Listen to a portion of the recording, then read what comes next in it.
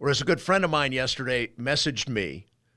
You know, the president in his briefing made a comment sarcastically. Anybody with a half a wit knows it was sarcastic when he made comments about injecting antiseptics and, and he was talking about light therapy, which, by the way, there is something to that. But people undone like, oh, this president is so out of touch. He's just insane. He's this, that. Guess what? He's still the president of our country. And until that changes, especially as a follower of Christ, I'm called to honor his office.